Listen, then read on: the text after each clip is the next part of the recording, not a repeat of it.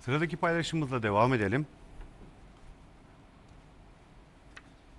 Bu hafta özellikle eee, medyaya düştü biliyorsunuz.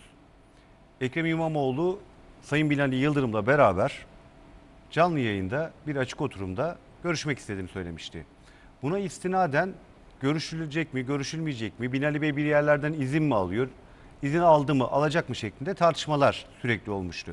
Bununla alakalı olarak Binali Bey iki gün önce bir açıklama yaptı. Ben her platformda, her şekilde e, Ekrem İmamoğlu ile beraber çıkıp İstanbul'u tartışmak istiyorum dedi. Bununla ilgili olarak eski TRT çalışanı olan, TRT'de birçok kanalda görev yapmış Uğur Dündar Bey'in moderatör olarak yer alması istemişti. Uğur Dündar da aynı şekilde sıradaki tweetimizi gösterebilirsek bir sonrakini.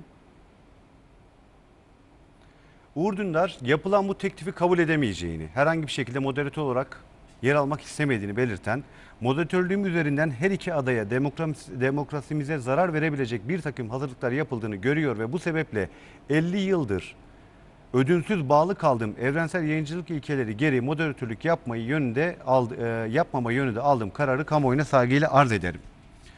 Böyle bir basın açıklaması oldu. Sayın Binali Yıldırım Bey'in de Uğur Bey'in kararına üzüldüm. Adaylar ve demokrasi zarar görür diyor. Ne gibi bir zarar anlamadım. O soracaktı, biz cevaplayacaktık. Umarım bu kararda birilerinin baskısı, etkisi olmamıştır. Evet, çok güzel. Burada bir tırnak açmak istiyorum. Sayın İmamoğlu'nun Dündar katılması, katılmamasına ilişkin bu programa ilişkin Binali Bey'in bu net tavrına karşı herhangi bir açıklaması olmadı. Olmadı. Ancak bir paylaşımımız daha var. Onu da verebilirsek.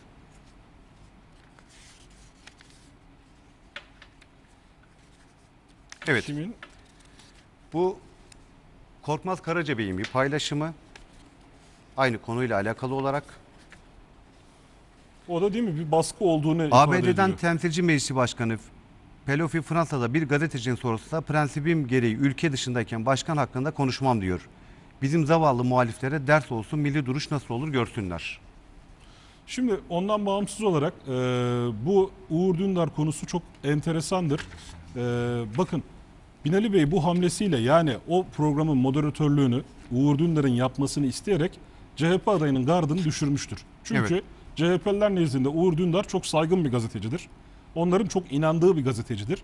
Kendisine ne kadar yüksek bir güveni olduğunu Binali Bey burada ortaya koymuş oldu. Dedi ki size çok çok çok yakın bir gazeteci yönetsin tartışmayı, modere, moderatörlüğü o yapsın. Çıkalım İstanbul'u anlatalım. Bakın bunu bile göze alamadılar. Niye Evet. alamadılar? E peki siz değil miydiniz Binali Bey'e televizyona çıkmaktan korkuyor diyen? Değil mi? Evet. Ne diyorlardı? Bir yerlerden izin alması gerekiyor diyorlardı. Kimin izin alması gerekiyormuş? Burada ortaya çıktı. Şimdi Uğur Dündar ilk başta memnuniyet ifade eden tweetleri var. Beni layık gördükleri için diye. Evet. Bundan onur duyacağını söylediği tweetleri var. Sonra ne oldu da Uğur Dündar vazgeçti? Benim unutulmam demokrasiye zarar Ha, verir şeklinde niye demokrasiye oldu. zarar veriyor? Yani siz kamuoyu önünde bütün televizyonların ortak yayınlayacağı bir programda İstanbul'u konuşacaksınız, projeleri konuşacaksınız ve bu demokrasiye zarar verecek. Acaba neden? Bir de şu çok tartışılıyor Kemalettin. Uğur Dündar bu moderatörlük işi ortaya çıktıktan sonra sosyal medyada kimine göre sayısı binlerle ifade edilen kişiyi engellemiş. AK Parti'ye yakın hesapları. Evet. Bir insanın bunu tek başına yapması mümkün değil. Acaba neden engelledi? Neyi örtbas etmeye çalıştılar? Eğer o program yapılsaydı Çok bu şey hesaplardan gelecek olan mesela bizim, mesajları, e, soruları mı engelleyeceklerdi? Büyük bir skandaldır. Burada programımızın- gözüne bakın burada gözüne far tutulmuş tavşan gibi hepsi açığa çıktı. Evet. Yani konuşacak bir cesaretleri yok. Proje konuşmaya müsait değiller çünkü projeleri yok. Sadece bir mağduriyet algısıyla eğer o programa çıksaydı, Uğur Dündar modere etseydi her şey ortaya çıkacaktı. Çok garip bir şey dikkatimi çekti. Twitter, Twitter hesaplarını engellediğinden bahsettiniz. Bizim programın Twitter hesabı var. Et Tweet Dünyası TV. Özellikle yayın esnasında da e, izleyicilerden gelen tweetleri sürekli ekrana alıyoruz. Sayın Uğur Dündar'ın tweetinin ekran resmini alabilmek için Tweet Dünyası hesabı bizde açıktı. Bizi bile engellemiş. Yani İşte bunu yeni kendisinin açılmış- yapması mümkün değil Kemalettin. Yani çok garip geldi bana. Bir sosyal medya ekibi artık kim koordine ediyorsa onu Evet. bütün bu hesapları engellemiş. Çok korkuyorlar Kemalettin. Yani Evet. bazı gerçeklerin ortaya çıkmasından Bizim programda çok korkacak bir korkuyorlar. durum yok Zafer Bey. Hayır.